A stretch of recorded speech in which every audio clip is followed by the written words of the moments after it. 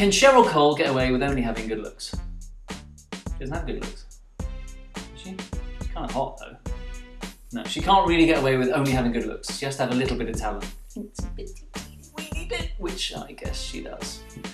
Because she was in Girls Aloud, was it? Something like that.